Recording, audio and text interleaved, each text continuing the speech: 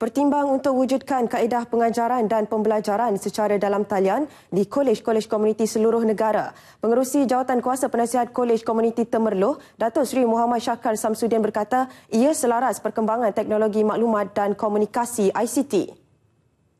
Menurut Datuk Seri Muhammad Syarkar, langkah itu bertepatan dengan usaha kerajaan memberi peluang kepada lebih ramai rakyat untuk melanjutkan pelajaran.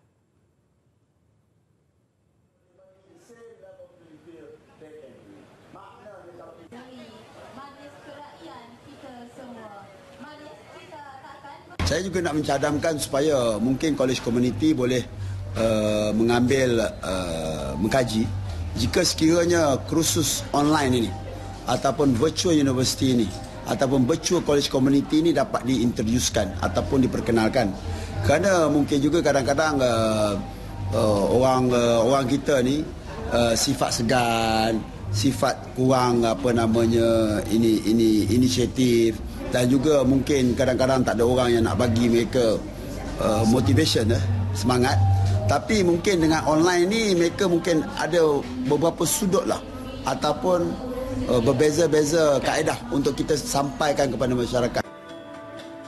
Beliau bercakap dalam sidang media selepas majlis penyerahan watikah pelantikan jawatan kuasa penasihat Kolej Komuniti Temerloh di Temerloh.